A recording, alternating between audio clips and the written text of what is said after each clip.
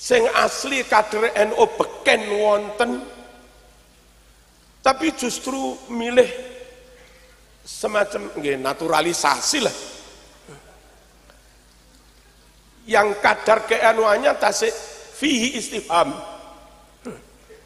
Masih diper dipertanyakan. Masih maskuk fi masih mukhtalaf fi. Nah yang kayak begitu kayak begini kita uh, sementara yang asli kader beken malah nyuwun sewu dibuang.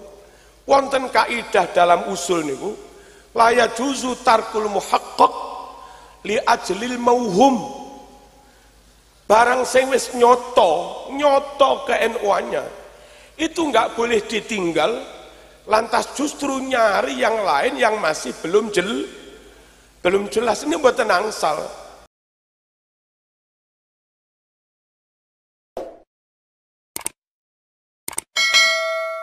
Assalamualaikum warahmatullahi wabarakatuh Pemirsa. Siapa itu Pak Yai ya? Uh, Orang yang NU-nya Kadar ke NU-annya Masih dipertanyakan Ya Fihi istifham. Uh, Satu uh, status yang bisa dikategorikan menurut istilah Pak Yai adalah yang dinaturalisasi, gak asli ke NU-nya. Lawang banyak tokoh NU dan Cak Imin itu adalah kader sejak lahir anaknya. Orang NU eh, Mbah Buyutnya pendiri NU ya masalah dong kalau orang Nahdiyin justru nyari yang naturalisasi. Kayak sepak bola aja nggak percaya diri. Ya dan akhirnya ngambil yang lain ya. Nah di sini uh, bobot ke NU-an di dalam gerakan yang jelas itu ya Nahdlatul Ulama yang tahu cerohannya ideologi Nahdlatul Ulama itulah yang mestinya dipilih oleh orang NU, orang Nahdiyin. Nah, ini pemirsa ceramah yang tampaknya akhirnya menjadi viral. Uh, ceramahnya Kiai Haji Marzuki Mustamar ya dukung bacawa pres Gus Muhaimin Caimin nyata-nyata kader Nahdlatul Ulama bukan naturalisasi bapak ibunya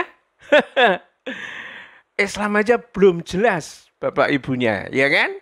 Nah, dan kita ini pemirsa diingatkan ya dalam Islam itu ada juga orang masuk Islam itu sekedar uh, cover untuk menutupi kepentingannya. Ada dia bangun, oh dia bangun masjid, iya bangun masjid. Ya kalau di dalam surat At-Taubah itu ada yang namanya masjid diror, masjid yang dibangun di tepi jurang keimanan dan akan rontok bersama yang membangunnya. Kita dilarang kalau masjidnya itu adalah masjid ziror itu untuk sholat di masjid seperti itu. Yang normal-normal saja. Nah, ya ini saya kira adalah pesan dari Kiai Marzuki Mustamar sangat karismatik, pengaruhnya di Jawa Timur luar biasa dan sebetulnya ini adalah ketua dari Nahdlatul Ulama Jawa Timur. Ya, kalau menurut kaidahnya PBNU sekarang gak boleh kiai-kiai dari NU itu eh, membela salah satu capres. Gimana nggak boleh orang ketua PBNU-nya juga seperti itu kan? Ya dibiarkan sajalah ya. Uh, dan ini satu satu maklumat saya kira ya kiai dari Kiai Haji Marzuki Mustamar itu untuk menyerukan uh, Nahdiyin itu ya uh, harusnya nyoblosnya itu ya Caimin, PKB ya karena politik dari Nahdlatul Ulama itu semuanya dijalankan oleh PKB. Partai lain yang mana? partai lain itu mungkin saja memberi duit, memberi ini bagi orang-orang NU yang memilihnya. Diharapkan dia bisa ngambilin dodosi suara NU. Kalau ada orang yang berkepentingan dia NU, sangat dipelihara oleh orang-orang lain karena suara NU adalah suara yang paling gemuk ibaratnya lumbung padi. Nah, siapa yang boleh ngambil lumbung padi itu. Ah, di situ klaim-klaimnya itu. Ini sebuah video pendek itu yang kita kutip itu viral di media sosial adalah pernyataan Ketua Tanfidiyah pengurus wilayah Nahdlatul Ulama Jawa Timur Kiai Haji Marzuki Mustamar dalam sebuah ceramah. Dalam video tersebut, Kiai Marzuki membuat pernyataan menarik tentang sosok Muhaimin Iskandar alias Gus Muhaimin alias Caimin ya. Dan penggalan video tersebut ditampilkan dengan suara lantang ya. Kiai Haji Marzuki menyatakan dengan tegas dukungan kepada bakal calon presiden bacawa pres Caimin sebagai satu-satunya kader NU yang menjadi cawapres yang sekarang berpasangan dengan Anies Baswedan ya. Katanya satu-satunya cawapres dari NU, satu-satunya cawapres dari Jawa Timur. Itu pemirsa. Jadi kalau orang Jawa Timur mungkin tidak sentimen ke NU-nya ya mestinya ke Jawa Timurannya kan begitu. Ya karena uh, asal usul itu identitas. NU itu ya identitas. Hanya orang-orang yang identitasnya palsu lah yang ketakutan dengan politik identitas. Orang PKI misalnya ngaku beragama, tetapi sebetulnya dia ingin menjerumuskan agama.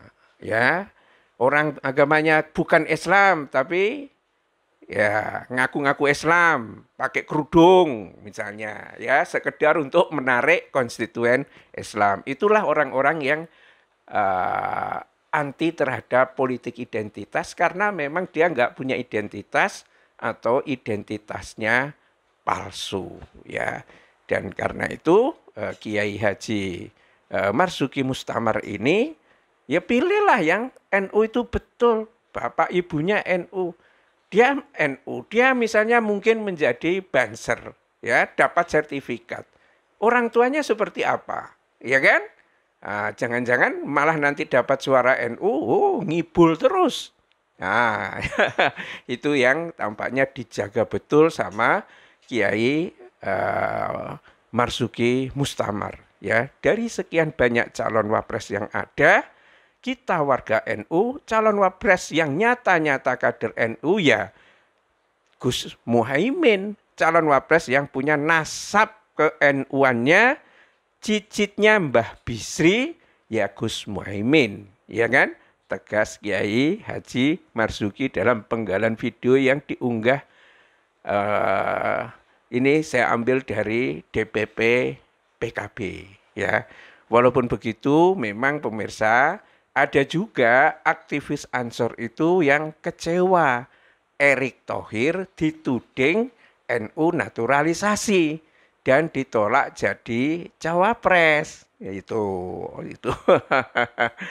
Erick Thohir rela menjadi anggota Banser namun oleh sebagian elit NU dan PKB dituding hanya naturalisasi dan ditolak menjadi cawapres mewakili ormas Islam terbesar di Indonesia itu. Sebetulnya kan logikanya sederhana ini. Ini uh, apa aktivis Ansor ini. Kenapa dia rela menjadi anggota Banser? Ya, kenapa dia kursus menjadi Banser? Ya karena pengen mendapatkan suara besar dari Nahdlatul Ulama itu itu bukan bisa dikategorikan rela atau tidak rela, tapi kepentingannya itu nyata gitu. Ya tergantung sekarang ini kan eh, apa namanya eh, bagaimana pinter-pinternya Nahdlatul Ulama, pinter-pinternya Nahdiyin atau seperti apa. Kalau suaranya diambil hanya kebagian sedikit, setelah itu dicampakkan apa betul ini orang bisa membawa ideologi politik NU dites ngaji aja dulu seperti apa? Uh, ke NU-an itu kalau nggak bisa ngaji wah memang perlu diragukan. Bagaimana ngaji aja nggak bisa mau merepresentasikan politiknya NU ya. Nah ini memang pemirsa sempat rame tempo hari juga dan tampaknya uh, ini uh, Erick Thohir masuk NU jadi banser, kemudian dibilang naturalisasi, ditolak-tolak, dibilang tak ada irisan dengan NU, itu dikemukakan oleh uh, aktivis Ansor Afif Fuad Saidi. Ya, uh, dikemukakan beberapa waktu yang lalu. Dan ini saya kira memang wajar sekali tahun politik begini. Ada juga orang NU yang mungkin kepunya kepentingan politik ya uh, karena ada sertifikatnya NU, oh sudah ini kader NU. Tapi ada yang memang dari mbahnya NU, pejuangnya NU, dari mahasiswa dia adalah aktivitas NU, PMII misalnya, dan seterusnya. Nah, tergantung pada bagaimana uh, para Nahdien ini menyikapi situasi politik yang ada saat ini. Bila taufik wal hidayah. Assalamualaikum warahmatullahi wabarakatuh.